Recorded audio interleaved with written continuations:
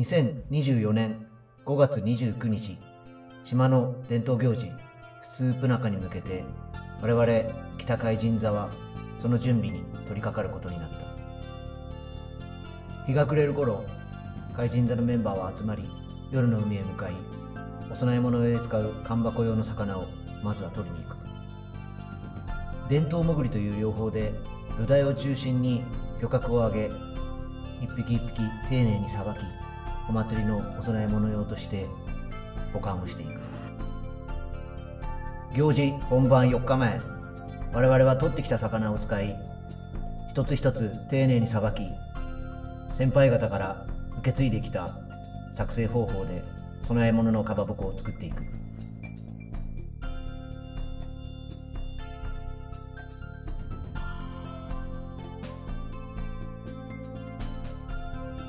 かまぼこの他にも座の婦人方の力により揚げ魚サタパンピン天ぷら揚げ豆腐など神様に備えるための料理が次々と作られる。お祭り4日前の夜島の行事の中心となる武者座に招かれ北海神座を今年担当する一丁二丁が激励を受ける。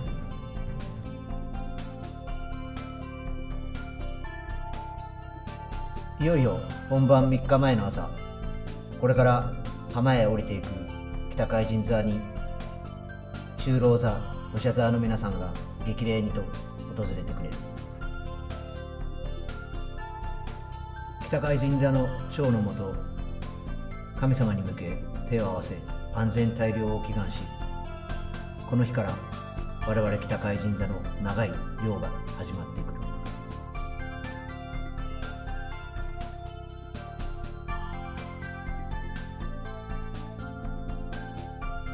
さまざまな座から激励を受けた我々は昔の人が海へ通ったという道をたどりつぶりと呼ばれる浜へこれから3日間の漁に向けて出発し列をなしてそこの浜へ向かっていく。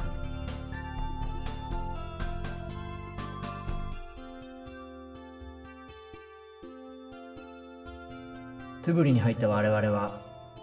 一丁のもと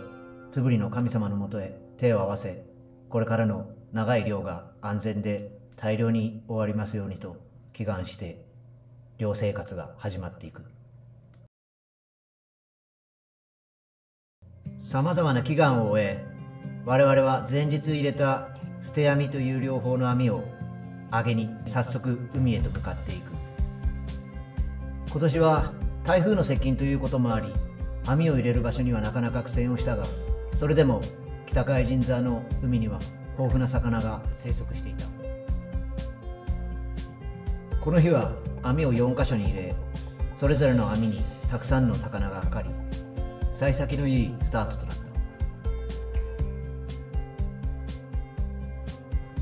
奉納する魚は大きいばかりが全てではなく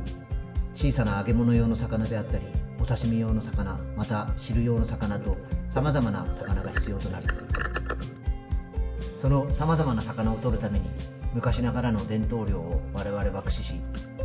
3日間この作業が繰り返される。網を上げる際には数名が船の上で網を引っ張りまた別の人間が水底に絡まないように網を丁寧に上げていく。その際にはさまざまな魚がかかっていることを祈りながら目の前の光景に高揚していく。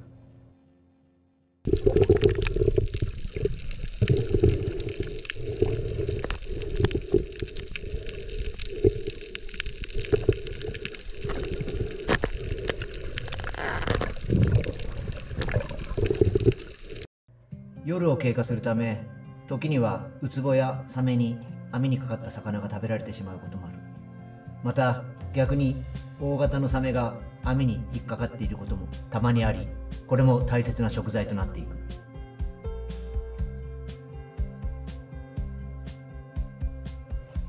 網を入れた数の分こうした引き上げる作業がずっと繰り返されるが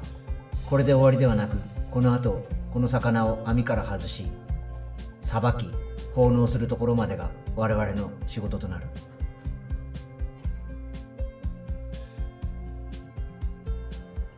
網を上げた後は陸に戻り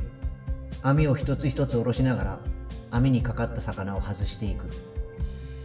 たくさんの魚がかかっているが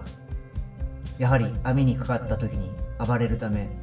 外す作業もなかなか大変である。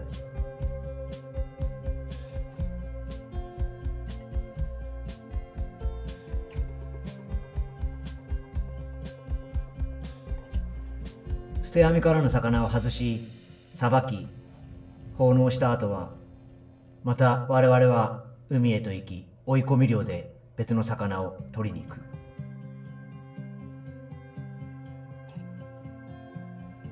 船と人で囲みながら網の方へ向かい追い込み漁をすることで大型の魚が網へ次々とかかっていく。この追い込み漁も何度も何度も繰り返されていく。翌日の朝前日に入れた網をまた引き上げに我々は海へと向かう。引き上げる網には次々とさまざまな魚がかかっている。網を引き上げていく係と操船する係そして水底に絡まないように網を引き上げる係。いろんな分担を怪人座みんなで協力しながら行っていく。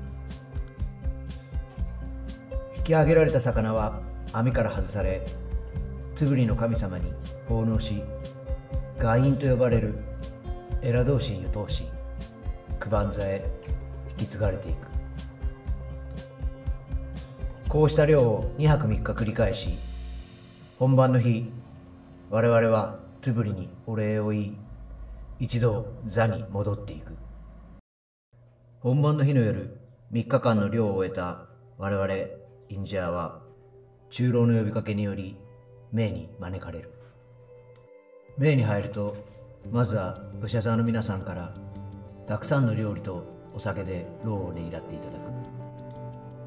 次に中老の皆さんより3日間の漁のねぎらいの杯でお礼をいただく。お腹も満たされ酔いも回っている頃一番武者からミスと呼ばれる神様の酒が入った角じゃらが歌とともに回されていく。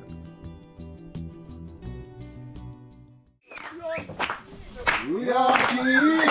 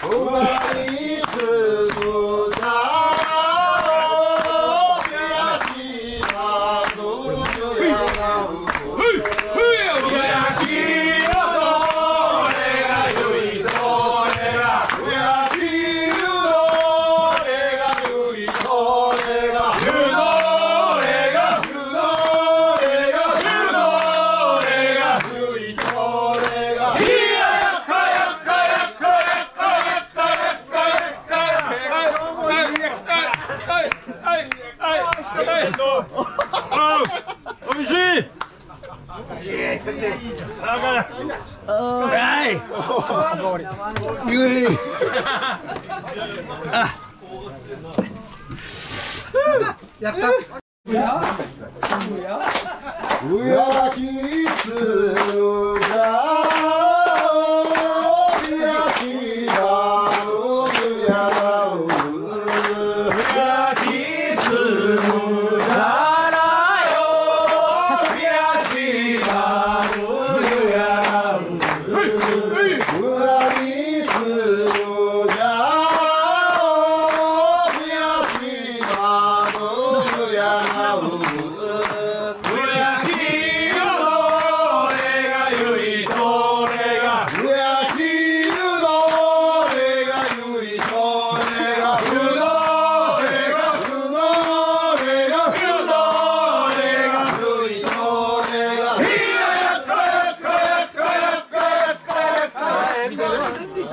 疲れた。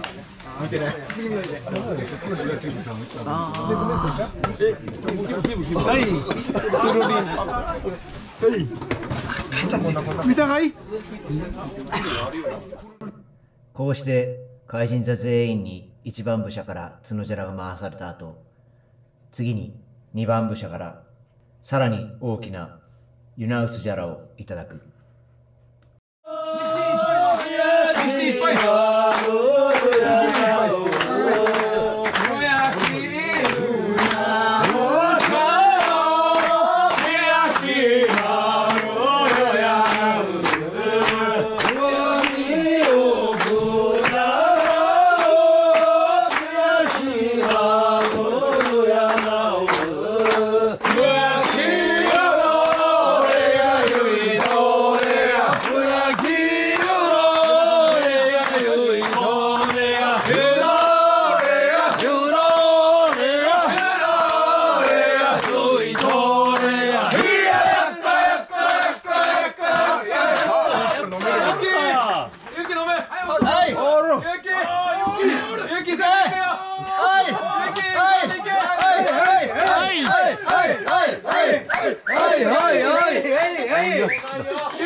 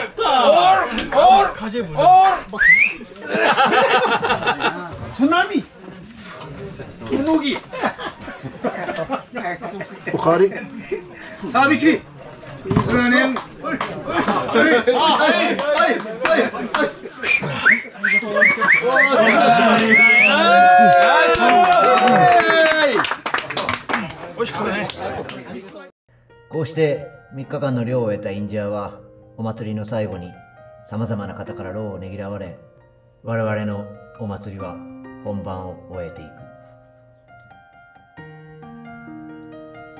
伝統行事というのは今物が溢れたこの時代食べ物に困ることもないこの時代に果たして必要なのかという思いも頭をかすめることがあるが先代の方々がこうして島を作り守りやってきたということを我々が引き継いでいくことには先代の思いがここに乗っているということを年とともに感じてくる。島に戻ってきたりまた他から移住してきた若者たちにとってはこうした伝統行事はたくさんのプレッシャーと先輩からの知った激励を受けまた慣れないお酒を飲むことで体への負担もかなり大きいことではあるが